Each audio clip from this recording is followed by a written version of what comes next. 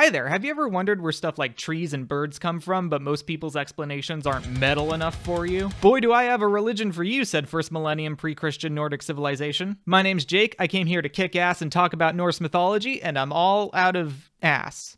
So at first there was just a hot place, a cold place, and a whole lot of nothing in between. But then they started leaking and mixed their elemental juices together to make a big giant named Ymir, and he sprouted a bunch of kiddos called the Jotnar. Then a cow showed up from somewhere and licked a dude into existence, and then he had a kid who had three more kids named Vili, Ve, and Odin, and they were like, wow, this universe is kind of boring, huh? So they killed Ymir, and he dropped approximately 6.585 sextillion tons of materials, which they used to build a whole planet. But then the Jotnar were like, hey, it was kind of a dick move for you guys to kill our dad, then build a planet out of his corpse. Huh? Oh, hey, sorry guys. Yeah, we can't hear you over this big wall we built. This big wall that encircles the entire Earth. Uh, yeah, I don't know. Can't help you. Bye. And then they made some people out of sticks, and this guy Heimdall came and banged a whole population of them into existence. Then they decided Odin got to be in charge of everything, and in true chief deity fashion, he had a bunch of kids from various sexy goddess ladies, like Bragi, who's into writing poetry, Vidar, who likes avenging his father's death at the hands of a giant kaiju wolf, hypothetically, and Thor, whose main hobby is killing Jotnar, and pretty much exclusively that, but he's very good at it. And then, of course, there's Balder, who's a super cool guy that everyone likes. Literally everyone. See that squirrel? He's tight with Balder.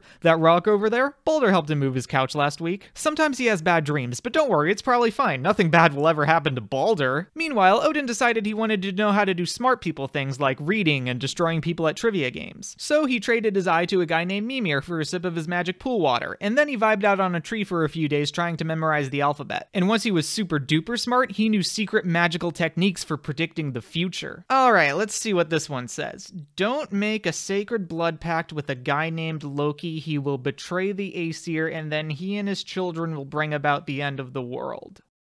Shit. So the Aesir tracked down Loki's kids, each of whom bore a striking resemblance to their mother and father. Jormungand didn't seem very threatening, so they just tossed him in the ocean, but then he hit a fairly significant growth spurt. Oh hey, a tasty looking tail. Hum. Ow! Mmm, pain flavor. Hum, hum, hum, hum. Then they sent Helen to Niflheim and put her in charge of managing all the dead people, except any valiant warriors who Odin calls dibs on. He keeps them at his place, you know, just in case he ever needs them for something. Fenrir was just a cute puppy, so a guy named Tyr volunteered to take care of him.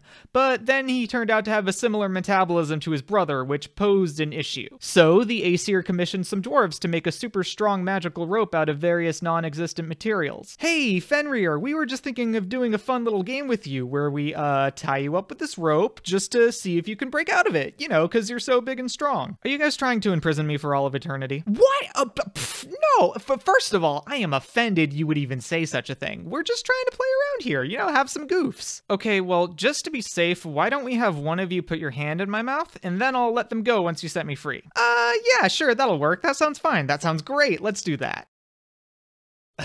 All right, yeah, I'll do it. And wouldn't you know it, Fenrir was unable to break free, and Tyr was partially dismembered. Well, guys, I guess we should all give Tyr a hand.